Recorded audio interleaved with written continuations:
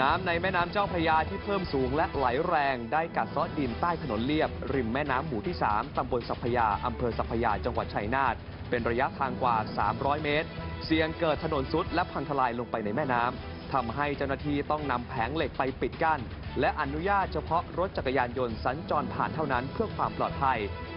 ขณะที่ชาวนานใน 7 ตำบลพื้นที่อำเภอเมืองนครสวรรค์ต้องพายเรือเก็บเกี่ยวต้นข้าวบางส่วน หลังปริมาณน้ำจากพิจิตรและกำแพงเพชรได้ไหลเข้าท่วมพื้นที่เป็นวงกว้างทำให้นาข้าวที่ใกล้จะออกรวง และพร้อมให้ผลผลิตในสัปดาห์หน้าจมบาดาล